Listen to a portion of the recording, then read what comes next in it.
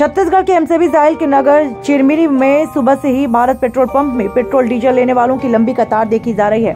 आसानी petrol pump में कुछ ही घंटों का पेट्रोल डीजल बचा है, क्योंकि आसानी कई पेट्रोल पंप बंद पड़े हैं। उनके पास पेट्रोल खत्म हो गया, जिसके चलते लोग काफ़ी परेशान हैं। ऑफ़िस या काम और कोई आवश्यक काम छोड़कर लोग पेट्रोल डीजल के लाइन में खड़े हुए हैं। पेट्रोल डीजल की कीमत को देखते हुए नगर की सिटी बस भी बंद कर दी गई। कुछ लोगों का कहना है केंद्र सरकार द्वारा जो ड्राइवर के संबंध में कानून लाया गया है, जिसके चलते यह दिक्कत हो रही है। पता नहीं यह कब तक चलता रहेगा। पेट्रोल डीजल मिलेगा या नहीं मिलेगा? यह हड़ताल कब तक चलेगी? इस संबंध में पेट्रोल डीजल लेने वालों ने मीडिया को जानकारी देते हुए अपनी अपनी परेशानी के बारे में बताया।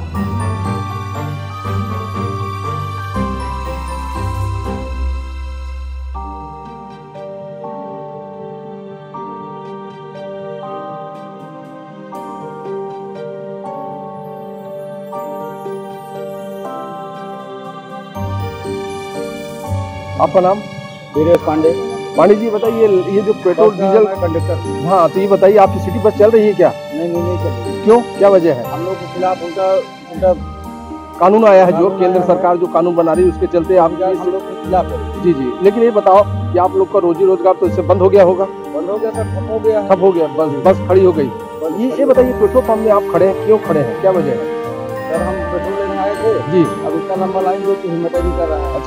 कितने देर से खड़े हैं आप? कम से कम दो घंटा हो गया। दो घंटा? अभी तक लाइन उसी तरह से है। किसी तरफ़ है हिम्मत। नहीं पड़ रहा है। जी, जी। जा रहे हैं घर। चलिए बहुत बहुत धन्यवाद आपको। आपका नाम? शक्ति कुमार सिंह आप ये कब से खड़े हैं पेट्रोल लेने के लिए? दो घंटा से ऊपर हो गया।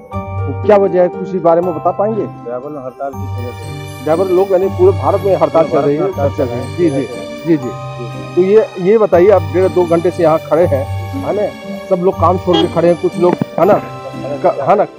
तो ये बताइए लाइन सुबह से सुबह से है। सुबह से है। यानी आज ही है कि इसके पहले भी लाइन ऐसी थी? कल से कल से। कल से आज यानी भीड़ लग रही है।